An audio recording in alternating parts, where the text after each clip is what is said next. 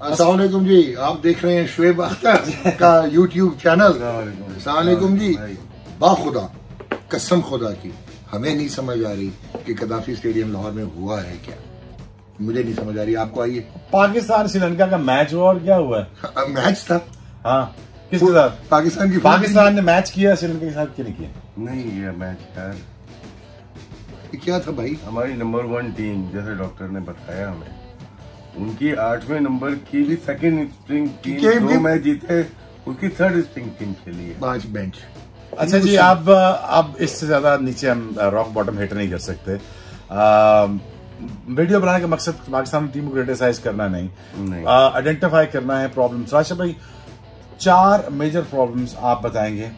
Batting order में सरफराज का चौथा नंबर नहीं बनता। स्ट्रगल कर रहे हैं नहीं बनता। इफ्तार को आसिफ अली के और अमाद सिंह के ऊपर आना चाहिए तीन पॉइंट है कि पहले ज़िम्मेदारी होती है कोच की नया कोच है इतना आइडिया नहीं है। ठीक बड़ी ज़िम्मेदारी होती है कैप्टन की भी लीडिंग फ्रॉम द फ्रंट लेकिन उसका कॉन्फिडेंस नज़र ही नहीं आ रहा। हुआ ठीक है। जब आपका कॉन्फिडेंस नज़र नहीं आ रहा तो हाँ। आप मतवातिर मौकों पे आप फेल हो रहे हैं। ठीक। फिर नंबर चार पे जाना मैं नहीं समझता कि नज़र पहली दफ़ा नज़र आया है कि बहुत परेशान है विकेट कीपिंग में नज़र आया है। स्टंपिंग छूटी है कॉट बैंड छूटा है गलत रिव्यू ले तो गए वहाँ से सरफराज का है कि जब आप अंडर प्रेशर आ जाते हो तो कोशिश करो एक आध मैच अवॉइड कर लो ना खेलो। यही मैंने चीज़ कामरान अकमल को भी बहुत पहले बोली थी कि आप इस चार पाँच महीने के लिए बाहर हो जाएँ। वो नहीं गए फिर सिडनी टेस्ट हुआ उसके बाद वर्ल्ड कप आया। मैं रेस्ट रेस्ट कोई करना नहीं चाहता। तो ये एक चीज़ हो गई है। टीम कॉम्बिनेशन बनी नहीं जेल नहीं हुई नई मैनेजमेंट है। क्योंकि मिकी हार्जर थे उनके अंडर में चार पाँच प्लेयर थे जिनको पता था हम खेलना है हमें खेलना है। अभी किसी को नहीं पता बाबर आज़म के अलावा कि वो खेलना है नहीं खेलना और मेजर प्रॉब्लम अनुमान सबसे पहले तो शुएब एक मेजर प्रॉब्लम आपको ये नज़र आएगी कि इस साल 2019 में पाकिस्तान नौ टी ट्वेंटी इंटरनेशनल खेला है और आठ हार गया। So it's number one team but they have lost eight जिसमें साउथ अफ्रीका में हारे एक टी ट्वेंटी इंग्लैंड से हारे और आज तीन ये हार गए। सो आपको एक तो पॉइंट ऑफ़ कंसर्न दूसरा इफ्तार अहमद जिस तरह मिडल कर रहा है और जिस तरह वो परफॉर्म कर रहा था I think he is being treated unjustly third bowling भी आप डालने की कोशिश मलबा कर रहे हैं आप तीनों मैच उठा के देख लें batting is leg you down हाँ। खत्म हो गया। हारे सुहेल बहुत खूबसूरत खेलता है बहुत अच्छा खेलता है। Somebody has to go get up to him and tell him कि वो फिट नहीं है। वो इतना थक चुका था कि ही जस्ट केम डॉक्टर बोले ना बोले लेकिन मैच हारने की वजह से जिन्होंने रन किए ना बाबर आज़म और हारिस। छिहत्तर रन की जो पार्टनरशिप थी वहाँ पे मार के मैच वहाँ पे मैच हम हार गए। मेरे ख्याल। लंबा खींचिए लंबा अब लास्ट अब जब हारिस वेल खेल रहे थे दस की एवरेज चाहिए थी। दस की एवरेज टी ट्वेंटी में होती है। पिच पे नहीं मैंने ये लो ये यार लो, हाँ। इस पे बात हमें करनी है कि ये पिचेस क्या है? इसी पे ट्रेनिंग इसी पे प्रैक्टिस इसी पे सब कुछ। हाँ। इसमें जान ही नहीं है पिच में। नज़र आ रहा है बॉल नीचे नीचे रह रही है ऐसे थोड़ी होते हैं यार इंटरनेशनल क्रिकेट पीसीबी प्लीज़ ये पूरा पूरा जो ये है ना आपके मट्टी ये चेंज करने वाली हो गई मादर के साथ नई पिचेस बनाए। अब पाकिस्तान का फ्यूचर आप आप बताओ यार क्या करना क्या? भाई, एक और- फ्यूचर फ्यूचर बताएँ जो सीधा सीधा बताएँ इनको। शुएब भाई, यूनुस खान ने तो कहा है कि यार देखो वो बंदे लाने पड़ेंगे आपको। शुएब भाई क्विकली एक चीज़ के नवान प्रदीप आज नहीं खेला उसने बाबर को अपना बनी बनाया हुआ था दोनों मैचेस में। Yes. ठीक है आज वो नहीं खेला। अंडर रेट कर गई हमारी बैटिंग हसरंगा डिसल्वा। हसन रंगा ने नहीं खेल- तंग किया भाई नहीं खेल सके उसको इनको सरफराज को सरफराज को पता नहीं चला। दूसरा आप नाराज़ ना होइएगा। It's high time Sarfaraz should step down नहीं हो रहा उससे कुछ। He is out of cricket he is out of his mind he can not collect the balls वो ऐसा उसे कॉन्फिडेंस दे दें। नहीं। लेट्स से लेट्स से कि ओ भाई देखो ये डिसीज़न सरफराज का अपना है लेकिन वो रैटल का वो रैटल हो गया। तो कभी कभार हमें भी ज़रूर हम लगातार खेल रहे होते थे अच्छी परफॉर्मेंस होती थी। यकीन करो कभी कभार दिल करता था नहीं खेलने का। तीस तीस घंटे लगातार खेलते थे। हम भी रेस्ट ले लेते थे। चलो यार थोड़ा सा आप क्या चाहते हैं ऑस्ट्रेलिया की टीम जब अनाउंस हो रही हो तो सरफराज बाहर हो जाए? नहीं नहीं मैं ये नहीं नहीं बोल नहीं रहा, नहीं मैं बोल नहीं रहे क्या करे वो? रेस्ट ले ले। उन्होंने देखो होता क्या है प्लानिंग जब आप करते हैं आपने किया हुआ क्या है? नेमो बदल गया है आपका मतलब कुछ बदल गया है आपका। कुछ भी नहीं। नहीं है। रिजवान है। अभी आपको बता देता हूँ। नहीं है एक मिनट। गलत वही ना। वही है ना बड़ी expose करेंगे ना। राशिद भाई ने बड़ी ज़बरदस्त बात की Rizwan is not up there as a wicket keeper और एक लड़का रोहेल नजीर आ रहा है ही इज़ टू रॉ और अभी उसको बहुत टाइम लगेगा। सो सरफराज के पीछे बैकअप भी कोई नहीं है। तो करें क्या? कमरान अकमल को ले आए। मैं तो वापस आपको यही बोलूँगा। ये हालत करना क्या है? नहीं हालत ये हालत ये हो गई है। वो सोल्यूशन तो बताए ना। नहीं अभी देखो।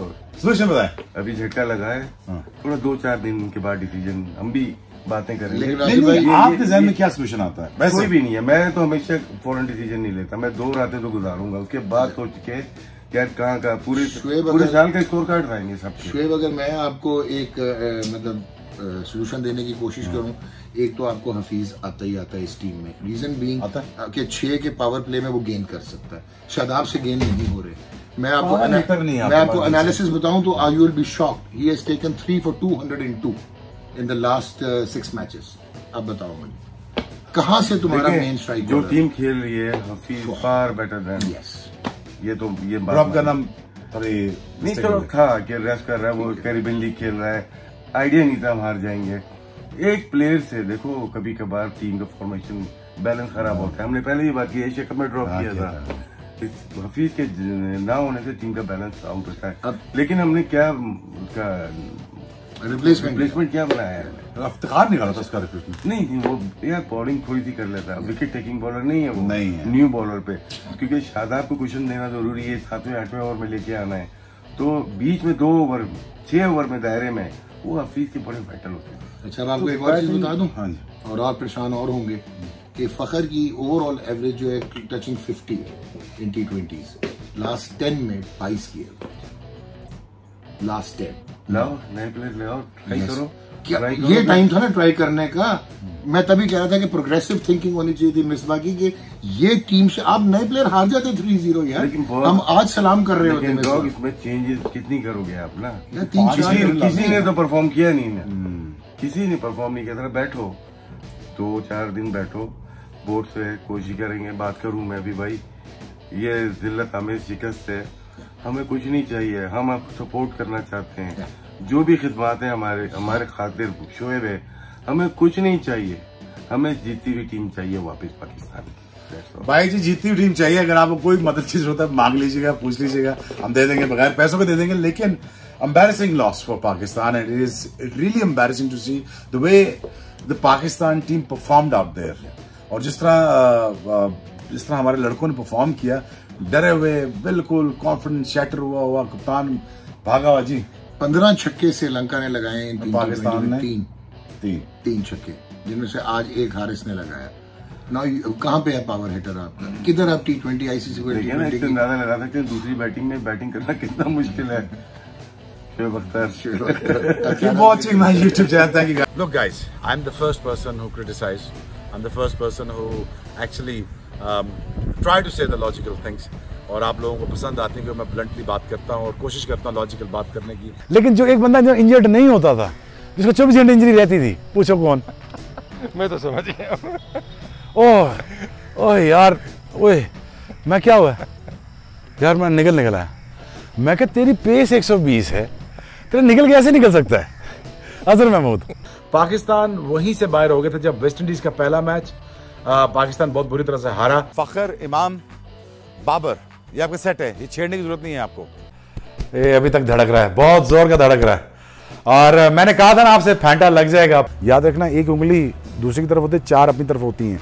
सो so, ये याद रखना। सो don't stop criticize Sania Mirza and and please once for all I am saying to you Sonali Bendre मेरा कुछ भी नहीं था इसमें कुछ ऐसा नहीं था। Please stop this speculation once for all I requesting all the media पूरी कौम खड़ी हुई है। लेकिन ये याद रखना कि ओवरसीज पाकिस्तानी हमारा एसेट था फ्रंट लाइन फोर्स है हमारी। जब भी पाकिस्तान फंसा है जब भी पाकिस्तान कहीं भी मुश्किल हालात अभी भी मुश्किल माशी हालात में फंसा हुआ है तो ये हमारे जो फॉरेन रेमिटेंस हैं जो आप लोग हैं हमारा ओवरसीज पाकिस्तानी ये आज भी मदद के लिए सबसे पहले खड़ा होता है। ये जो जगह है ना ये भी बहुत ज़्यादा पुरानी है और हिंदुओं के लिए बड़ी सीक्रेट हिस्टोरिकल बड़ी हिस्टोरिकल प्लेस है। तो मैं इसलिए वीडियो बना रहा हूँ तो हमारे जो लोग हैं हिंदुस्तान में वो देखें क्योंकि बातगाह है। अब क्या करेगा बीसीसीआई बीसीसीआई अब इनकी जो जितने दोस्तों को विराट कोहली ने फेवर दी थी और उनको प्लेयर बनाने में मदद की थी और और अच्छी नीयत से की थी कि के राहुल प्लेयर बन जाए दिनेश कार्तिक बन जाए सारे आ जाएँ पंट आ जाए वो अब फेवर इन दोस्तों को नहीं मिलनी। ऑस्टम से निकलती हुई बॉलें बैट्समैनों को तंग करती हैं स्पेशली इंडियन बैट्समैनों को तंग करती हैं। मैं क्या ये इन बेवकूफ़ों को नहीं पता? तो पता होना चाहिए। अच्छा कौन है? Dale Steyn. मैं कहो भाई तू इस स्पेस से हमारे साथ खेल रहा होता हमने सो भी नहीं करना था। मैं चाहता हूँ कि नई टीमें वर्ल्ड कप जीतें उनकी क्रिकेट प्रमोट हो इंग्लैंड में क्रिकेटर क्रिकेट वर्ल्ड कप जीता जाए। शाहिद अफरीदी ने भी तो ये दो तीन दफ़ा होता ना वो वर्ल्ड कप के बाद छोड़े हैं अब इसके बाद छोड़े हैं। कहते थे मेरे कोई प्लान्स नहीं है। लेकिन लेट्स सी जी गेल के यूसुफ ने चार दफ़ा रिटायरमेंट दी है ना। आज मैं रिटायर हूँ कल वापस आ जाए मैं यूसी छोड़ दे यार।